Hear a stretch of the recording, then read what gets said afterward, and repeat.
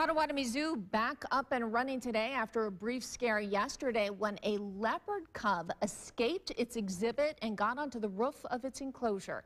Now zoo officials are taking extra precautions until the cage can be better secured. WSBT 22's Heather Black was at the zoo today.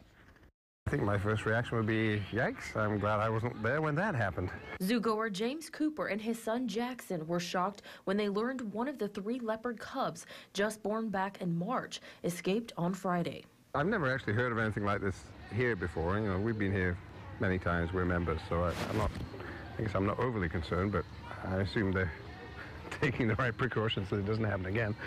Zoo officials say that the leopard cub was only outside of the exhibit for about 15 minutes. Now the mom and her three cubs are being housed until zoo officials can find a way to baby-proof the cage. According to the zoo's executive director, Marcy Dean, the zoo will line the leopard cage with plexiglass to prevent future escapes. It was the same technique used when the cubs were first placed in the exhibit. Zoogoer Marissa Hernandez says after seeing the cubs before, she's surprised one escaped. Thought it was kind of weird.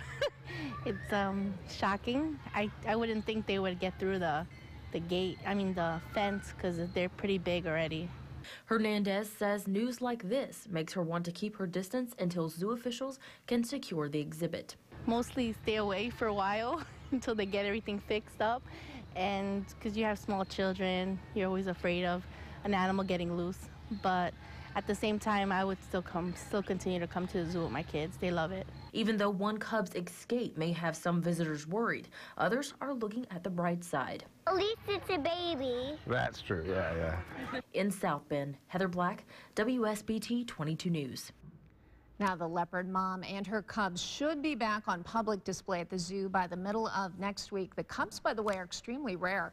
Amur leopards are the world's rarest type of big cat.